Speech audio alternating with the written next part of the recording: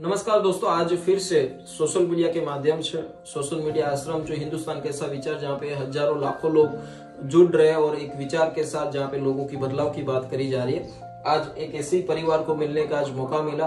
पूरा एपिसोड देखना दोस्तों और शेयर कर देना आज एक ऐसा कंट्रीब्यूशन जहाँ पे हर वक्त हमें जरूरत पड़ती है तो हम डायरेक्ट उससे ही बात करते हैं और उसको एक कहाँ से प्रेरणा मिली है और क्या नाम क्या શું નામ છે બેન તમારું મારું નામ સારિકા અશોક કુમાર પટેલ છે ઓકે તમારું નામ ભાઈ યશ અશોક કુમાર પટેલ ઓકે તો તમારે આ જે કન્ટ્રીબ્યુશન છે તો આ પ્રેરણા તમને ક્યાંથી મળી અમારી નણાને યુટ્યુબ પર જોયું. તો એણે કીધું કે આપણે આમાં દાન કરવું જોઈએ. અમે કીધું કે સારું. તો એણે એમ કીધું કે મેં પૈસા મોકલાવું છું તો તમે પોપટભાઈ સાથે કોન્ટેક કરો અને એમને મોકલી આપો પૈસા. એ લોકો ક્યાં રહે છે? એ ન્યુઝીલેન્ડ. એ ન્યુઝીલેન્ડમાં રહે છે. ઓકે અને એ લોકો અત્યારે ત્યાંથી મતલબ તમને તમને એક માત્ર માધ્યમ બનાવીને અમારા સુધી પહોંચવાનું હા. બરોબર. તો એમને શેના માટે આ કોન્ટ્રીબ્યુશન યુઝ કરવા માટે કહ્યું છે?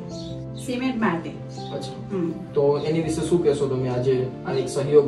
આવી રીતે દાન અમારા નણંદ દાન કરતા છે એવી રીતે બીજા બધા બી આપી શકે. દોસ્તો આજ जो बहन के नणन जी है, उसका नाम मैं आपको बता देता हूँ।